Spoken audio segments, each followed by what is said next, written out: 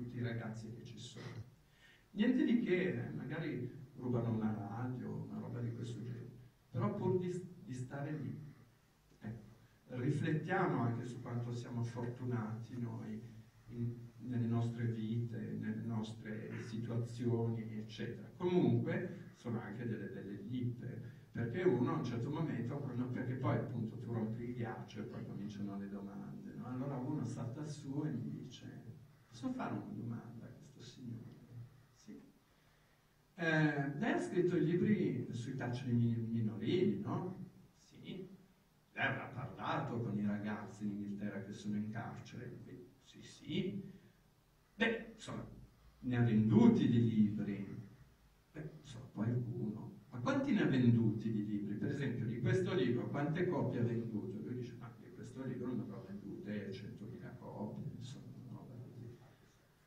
Ma quanto guadagna per copia lei? Cioè, ma l'ha presa proprio alla larga, eh? Attenti, cos'è arrivato a dire? Dice, ma quanto guadagna per ogni copia lei? Ma, eh, 2 euro, 3 euro, non lo so, roba 3 per 100.000 ma glieli ha dati i soldi a quelli che gli hanno dato le informazioni?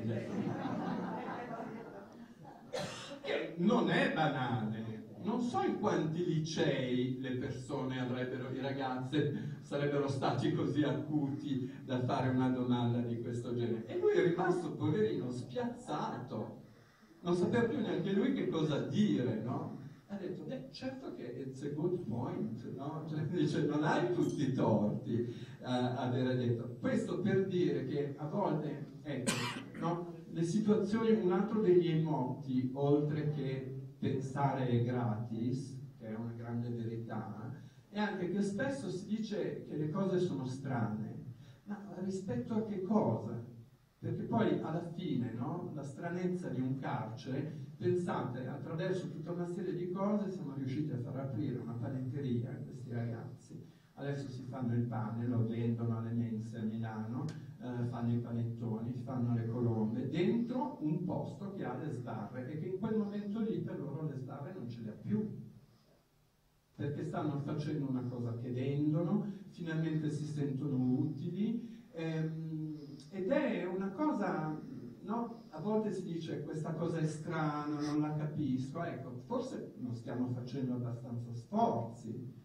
Eh, non so se è una mia deformazione professionale, perché io gli sforzi li devo fare costantemente per capire la gente tutti i giorni. Però è, è, è così, cioè se noi anche pensassimo un pochino di più, no? a, a, lo stiamo capendo veramente noi questo altro, no? che spesso ci fa paura, così tanta paura adesso poi per esempio con tutta questa violenza che, che, che pare che sia così pervasiva, eccetera. Ma li capiamo davvero gli altri? Ecco, se forse, se forse, se forse cominciassimo a pensare che magari gli strani siamo un po' noi, non sempre solo gli altri che sono strani, anche lì forse si riuscirebbe a fare delle cose, delle cose in più. E, in questo, ecco, mi fa dispiacere che non ci siano i giovani. Io quando vado in giro con gli autori, sta riprendendo questa bellissima abitudine. Noi anni fa, con gli autori stranieri, ma anche con molti italiani, giravamo per le scuole. Ed era bellissimo, bellissimo perché i ragazzi a scuola eh, sono molto aperti, sono poi veramente ti regalano un sacco di cose e soprattutto se vogliamo vedere dal punto di vista egoistico di mercato tutti tiri su dei clienti, no? Perché se cominci a insegnare a leggere a un ragazzino di 10 anni, 11 anni, 14, 15, è molto probabile che a 30 continuerà a leggere libri, così come continuerà a suonare, eh, continuerà a scrivere, continuerà a fare sport, no? che è altrettanto eh, interessante. Però ehm, ehm, io sono anche molto ottimista su questo perché mh, eh, spesso e volentieri ci sono i cicli, ma anche i cicli contrari, cioè adesso sembra che eh, non ci sia più una partecipazione appunto di una certa fascia di età alle cose. Secondo me ritorna perché è come se una cosa uscisse dalla finestra per entrare dalla porta, uscisse dalla porta per rientrare dalla finestra.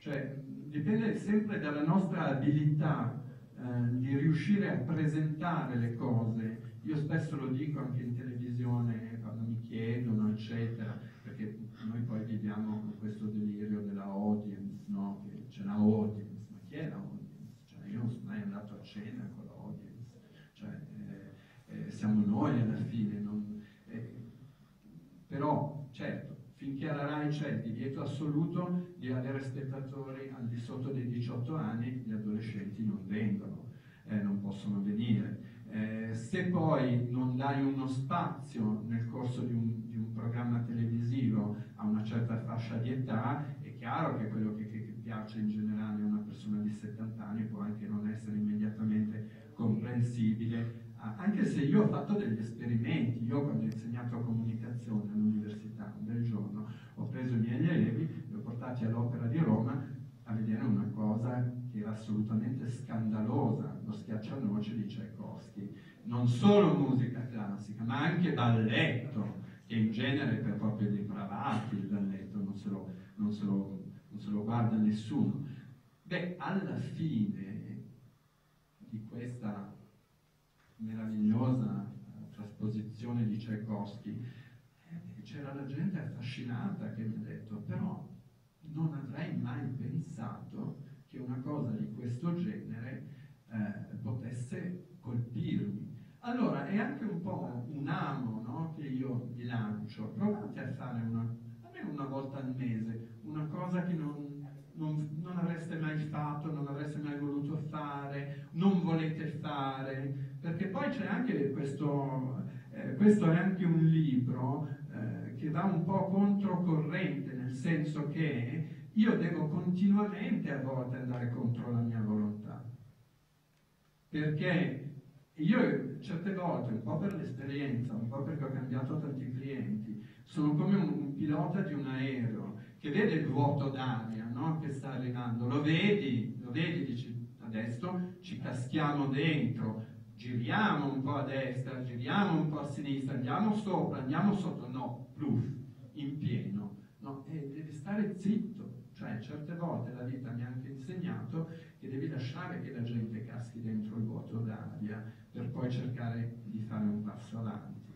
Però questo sì, ecco, cioè io vorrei proprio, eh, mi auguro, questo libro l'ho scritto anche per i miei studenti, perché quando appunto insegnavo, perché è anche una serie di domande ricorrenti sulla comunicazione Infatti ci sono i capitoli che aneddotici, seguiti da un intervallo che è un pochino più tecnico, diciamo, no? È un pochino più dove io ti spiego come ho risolto certi problemi di comunicazione, perché io poi alla fine di questo mi occupo. E io se poi... Secondo me c'è anche tantissimo di psicologia, nel senso che conoscere persone, doverle tradurre, tutto un lavoro preparatorio